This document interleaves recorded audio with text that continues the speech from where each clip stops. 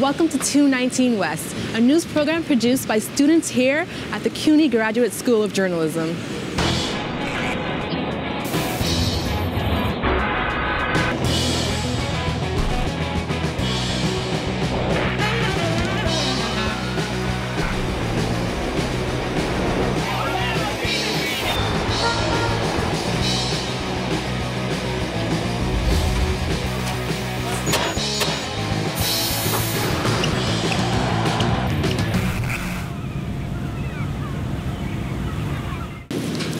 I'm Rose. On 219 West, we bring you topics and stories that you can't find anywhere else.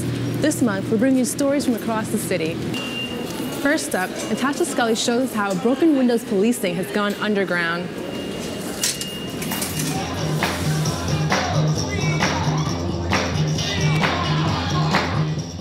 I just seen some guys doing some, some, some moves outside on the street. It looked like they were just crawling on the ground, like rolling over in circles on the dirt and stuff. But they wasn't rolling on the dirt. They were spinning on their heads. What Rashim saw was breakdancing. And as soon as I said it, I just embraced it and ran with it. Rashim ran with it all the way to Canada where he competed. But nothing could top the thrill Rashim felt performing for a crowd on New York City streets. The lefts, the rights, the backs, the to the beats, the stops, the fronts. 18 years ago, Rashim was b-boying, just like these kids. But in the late 90s, Rashim was arrested while breakdancing and charged with disorderly conduct for playing music on his radio without a permit. I've been arrested in the New York City streets where I was born and raised up more than 25 times. The last time he was arrested was just days after NYPD announced a crackdown on performers in subway cars and platforms. His arrest was one of more than 300 subway busts last year, twice the number than the previous year. It was all part of the broken window model of policing, which recognizes that low level offenses against public civility and public order cannot be allowed to continue because they send a message to the larger community that law has broken down. So there's public parks, there's schools, there's their own houses, there's community centers. Uh, that's a perfectly valid activity and form of expression. Heather Mac Donald, a fellow at the Manhattan Institute, insists she's not against dancers. Just the location b-boyers like Rashim are choosing to break a move. They're there because they want to collect money. This is not a selfless artistic expression. It's not about just making money. It's about becoming a better person and understanding that when you really need to dance and nobody's there for you, you can do it by yourself and still captivate the whole audience. Alex Vitale, a sociologist at Brooklyn College who studies police tactics, says arresting breakdancers could be counterproductive. Relying on a strategy of criminalization just further undermines the relationship between the police and young people who are dancing and possibly driven them into other kinds of black market activities that might even be more of a problem for the city. I can't build trust in the police when they're trying to stop us from breakdancing by scaring us. You don't build trust in somebody that's supposed to protect you by making them afraid. Rashim has a job now, ironically, as a security guard it, it, it's weird, very weird that I go to work as security and then I'm breakdancing, which I'm getting arrested by a person just like me. Still, he says he'll continue to perform on the subway and to solicit donations. If entertainment is a crime, then you might as well shut America down. Because that's what we live for.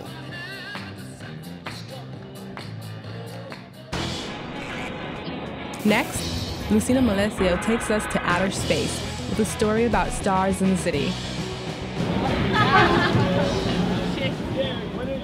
Times Square. Lights compete for everyone's attention. It's so full of lights and also so colorful and even if it's if it's night you just think it's day but there are some glittery lights that can't be seen here. Can you see the stars from here? Oh, No, not really. Nothing like home. You walk outside and the stars are just perfect. But we do like the lights instead of the stars right now. Even in the outer boroughs, it's hard to escape the bright lights. This is very, very bright. There are floodlights that are lighting up the museum, and then you have light reflected off the museum. There's lights going up, literally up into the sky. Irene Peace is an amateur astronomer. I'm happy to show you some darker sites. There's actually a really dark site right nearby. I think it's an amazing contrast. Yet, but it can take a while to cool off. But we're getting a little bit of shimmering. Um, if you want to take a look, Um, so many people have never seen the Milky Way. They, they don't even know what it is. They don't know that it can be seen. Uh, people who live in large cities don't even know that they can see stars. Um, they just look up and they see something bright and assume it's a plane. And it's, it's just really unfortunate to be, to be losing that um, as a society, just flooded with light all the time. Irene's not the only one who wants to see more stars in the city. There's a whole movement that wants to dim the city's lights. I'm what they refer to as a dark sky advocate. And I have been working on this issue for about the last uh, 15, almost 20 years. Susan wanted to show me her latest victory. I want to show you some lights over here. The new fixtures that are in Washington Square are the dark sky fixtures. It's actually made the ground very, very well lit, but you don't have the glare in your face from the bulbs, and it's almost romantic. And now her sights are set on the city as a whole. You will see some building lighting in Manhattan where the intensity of it could be cut. You'd still enjoy and see the skyline, but it's brighter than it needs to be. Uh, it's a long process to get people to believe in a reduction of light pollution. The Dark Sky movement found a believer in Linda Rosenthal, a state assembly member representing Manhattan's West Side. The city is such a frenetic place and you're always rushing and you need ways to just relax and you know looking up at the stars is, is a great thing to do but not if you don't see the stars. So we have to ensure that dark skies uh, remain something that, that people can, can see and that it's not obscured by too much lighting. Linda succeeded in passing a law last year that requires all state funded buildings to use shielded light fixtures like those in Washington Square and Gantry Plaza State Park. New York will certainly still be a shiny city, and you know I'm working on, on, on other bills and other projects to to promote the fact that we have too much light. Um, and not just in the city, around the state. There's too much light. There's, so this hopefully will be a guide for um, other cities to implement their own regulations. The new law only affects a small number of lights in the city, and because it's not retroactive, it will take several years before all state funded buildings replace their old fixtures. For Irene, the new law hasn't had any effect. She's still looking for dark spots. Alcor and Mizar, the stars in the bend of the handle of the Big Dipper. The dark sites are getting so much harder to find. Everyone's going to suffer from that a bit. I think that's an important part of our heritage as human beings. It's something that we share with every other human being that's ever lived. Like everyone's been able to look up and see the stars and honestly they haven't changed that much throughout the course of human existence. So we really do share the same night sky and that night sky is is dwindling.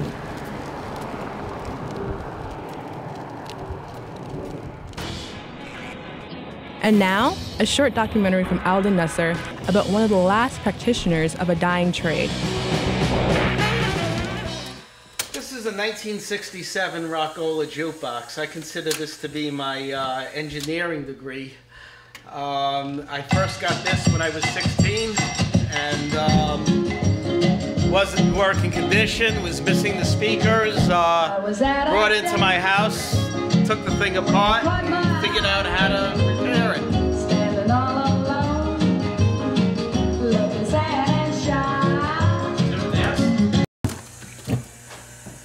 Okay, you got what you needed out of this machine? Definitely, yeah. All right.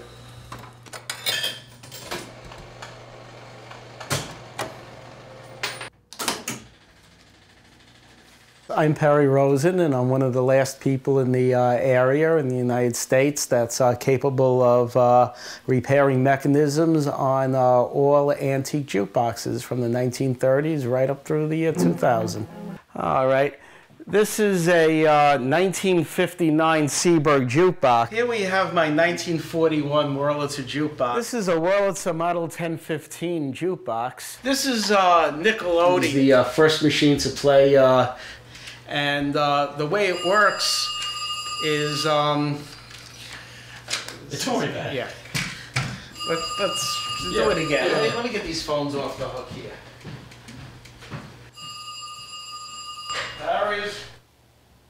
Yeah, maybe he could help you with that. I mean, he knows more than you do.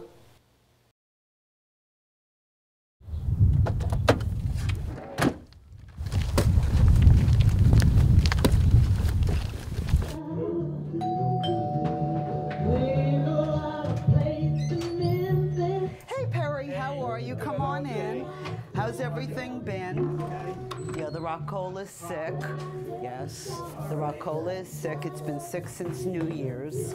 It just kept spinning.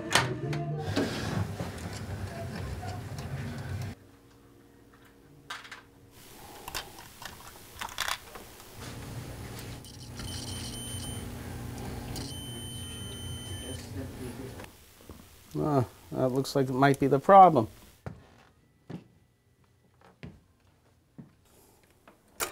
Ah, bingo. Have some action here. In the 1970s, very early 1970s, there was a song Palabras Palabras, and the song itself was could not find it for love of money. I wound up doing search on the internet, and I found it in French. And this is it. Yeah, this is it. So tell us, tell us, bring us back to that, that martini bar on 18th Street if you can. It wasn't a martini bar, it was a sleaze bar that we were having martinis in. Um, but um, it, it was a lot of fun. It was a lot of fun. Mais tu as cette belle histoire d'amour que je ne cesserai jamais de lire.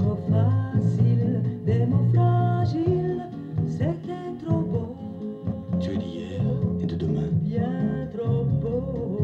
De toujours, ma seule vérité. Mais c'est fini, le temps des rêves. Les souvenirs se fanent aussi quand on les oublie. Tu es comme le vent qui fait chanter les violons et emporte au loin le parfum des Yeah, roses. that was about as easy as they get. I'm happy about that, though. I want a major problem there where a motor or something has to be changed. How did you feel watching them dance? That was sweet. Yeah, that was nice. Yeah. Do you do you often get situations like that? What, just blown fuse? You know, situations where you get to see the people enjoy their. Seen them dance, I've seen them cry. So does that does that bring up any emotion inside you? Uh, not really. Just you know, it feels good to be able to uh, be in a business that uh, that makes people happy, that gives people joy.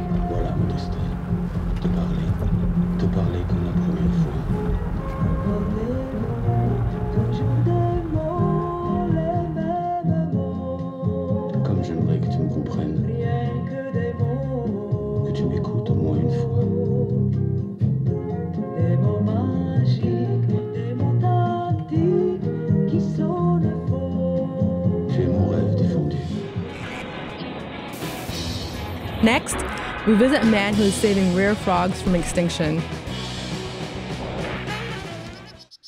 Frog species are going extinct faster than scientists can even discover them. A huge range of environmental factors like climate change, habitat destruction, pollution, and infectious diseases are dwindling amphibian populations around the world. Amphibians are declining much faster than any, any other animal group that we've seen in the past. Is this the next mass extinction? And you know, some of the evidence suggests that it, it probably is. You know, it's it's happening not in the blink of an eye like for dinosaurs, but it's happening faster than it should be, than it's ever happened um, in recent history. To fight this population decline, scientists need a backup plan. Oh, these guys are either wrestling or right now. They're still kind of active, but they We want sort of an insurance colony, right? So a colony that uh, we can keep safe, that we can control their conditions, and if worst case scenario we lose that population in the wild, well maybe we can take this assurance colony and repopulate that that area. Colin Clark is the curator at Rana Verde Ecosystems in the Bronx.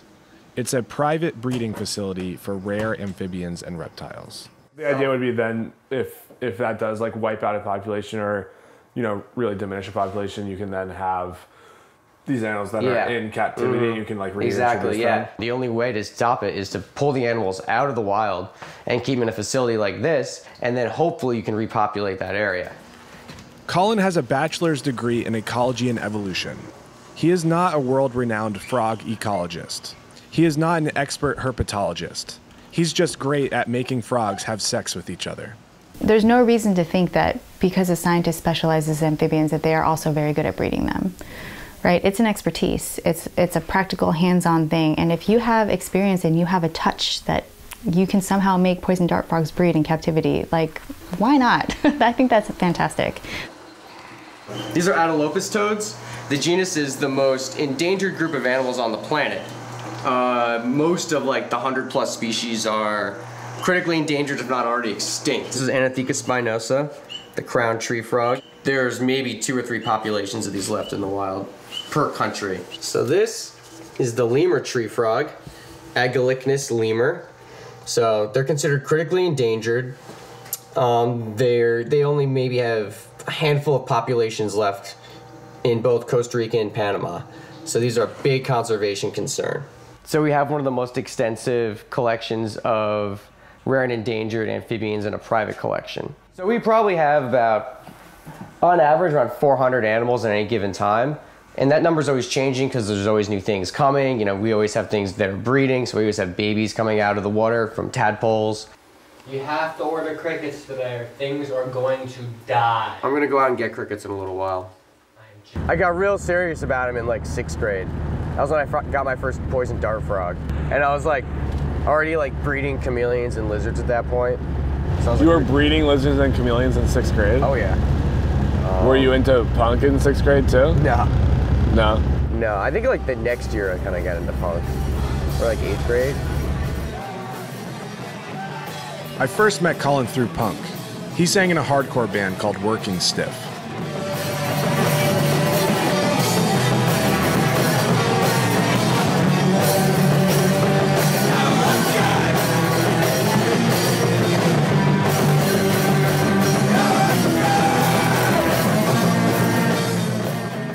Besides all the crickets, caring for 400 amphibians and reptiles every day takes a lot of grunt work. Don't do it too much, you'll break it. It's pumped. Like if you do it anymore, it'll explode basically. Well, that'd be fun. Yeah. First thing I do in the morning is I mist everybody down.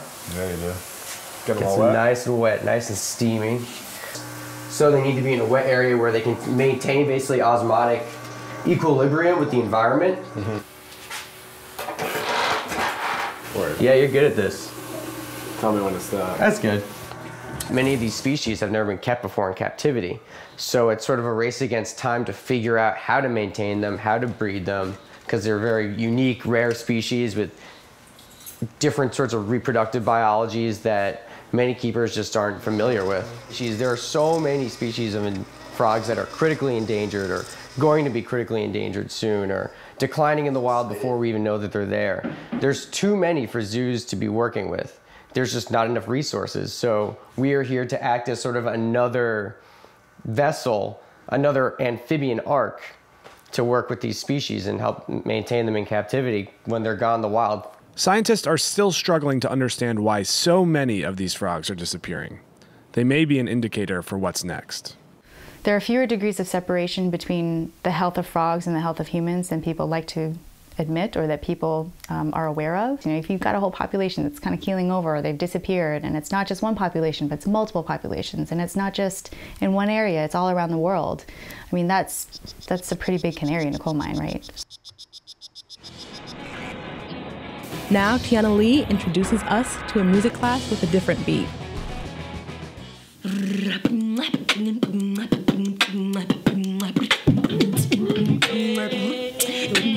This is not your typical music class.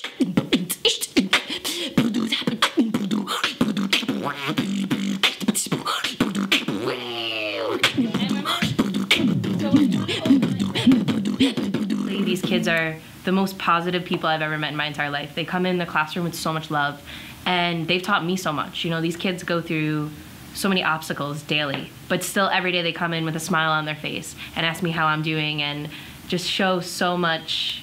They just give me so much love and energy. These students all have some form of vision impairment and cognitive delays. Some also have physical disabilities. Speaking up is a very scary thing for a lot of people, and especially beatboxing, by making silly sounds, sometimes it feels unnatural, but when the kids let go and they just learn to have fun and be silly and use their voice, it's really powerful. Kayla Milady teaches the Beat Rockers class at the Lavelle School for the Blind in the Bronx. Milady's main instrument is her mouth. The method is beatboxing. I'm using beat rhyming as a way to help with speech therapy. Um, so we take uh, words like baseball or butter, um, and then we do instead of just saying baseball, you enunciate all the words. So baseball, butter, which is all beatboxing sounds. So any of those, any alphabet letter that you can use, if we just staccato it and really just uh, hit the actual sound that we're trying to portray, you're beatboxing.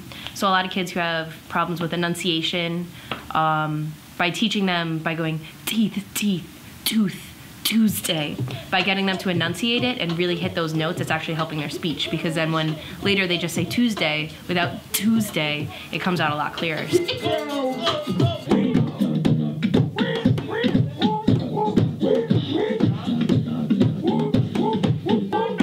It's not all about having fun. It's also a learning experience for the kids.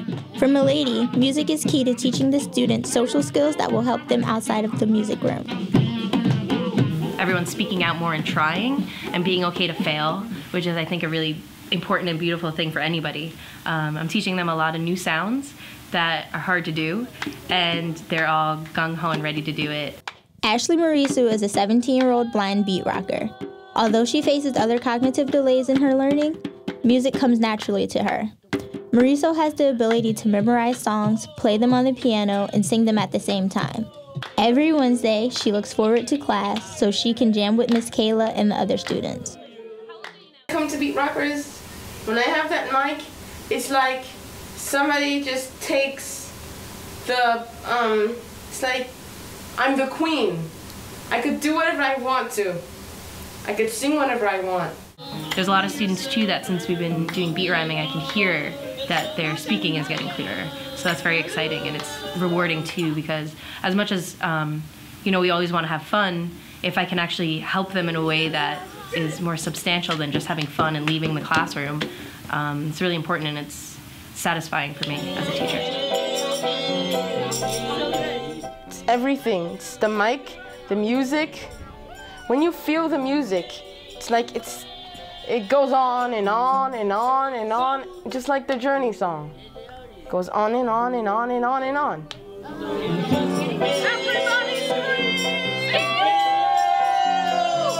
I'm just a city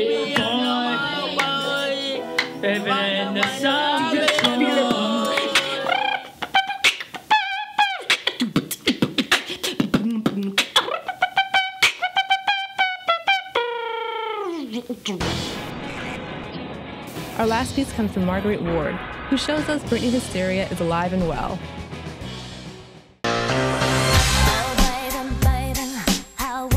When you hear the name Britney Spears, you probably think of outlandish outfits, seductive dance moves, and of course, the world's obsession with her.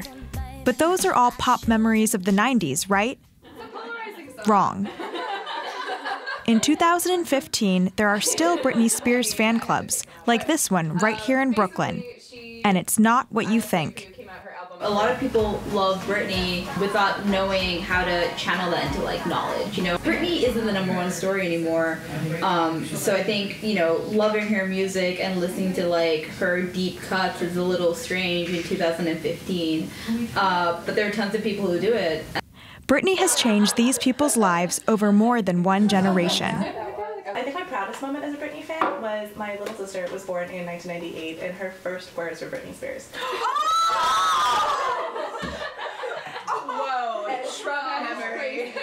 Rachel Goldberg and Suri Ratnatunga are friends who have a mutual love for Britney. So they decided to start hosting workshops in Goldberg's apartment. For $20 a pop, participants listen to the presentation and discuss the deep themes Britney represents.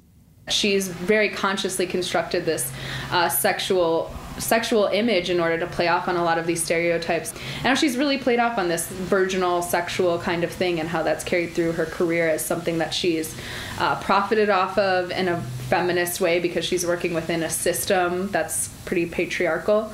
But in 2007, the breakdown came. For some fans, this was the end. But for these Britney loyals, that's where her power really started to make sense. This is her divorcing herself from her public image. This is her being like, I'm not that. Per- you think I'm a sex symbol? I'm gonna shave off my all my hair, and I'm not gonna be a sex symbol to you guys anymore. And I think all of this rebelling was just her being like, I'm not gonna be what you think I am anymore. Pushing those buttons and that space in between. Um, and it's actually a really empowering feminist thing in many ways to identify that, to play on that, and then to make money off of that. You know, she's working in the system and she's made an empire. And, you know, she's a pretty savvy businesswoman, which is, you know, empowering feminism. Most of the participants see Britney as a symbol of empowerment. I think my favorite Britney is post freak out Britney because she's a little dirtier. Craziness uh, has always been linked to womanhood.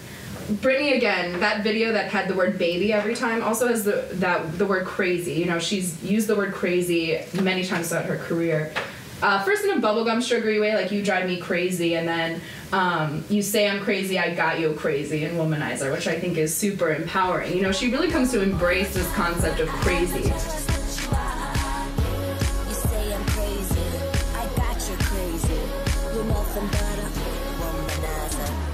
Their goal is for these workshops to grow into something bigger. Goldberg's brother sees that already starting to happen.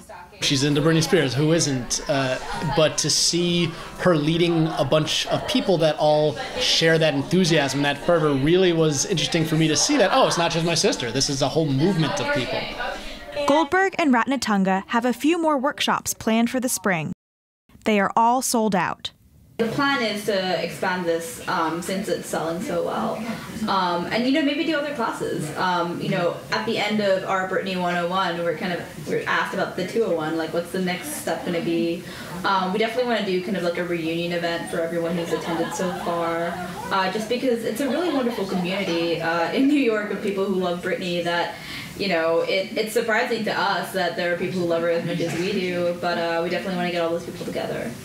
With Britney Spears about to drop a new single with Iggy Azalea in May, the workshops will have plenty to talk about. Thank you for watching 219 West. Catch us next month for a batch of offbeat New York stories. Be sure to tweet us with story ideas that you'd like to see. I'm Naisha Rose, and see you next month.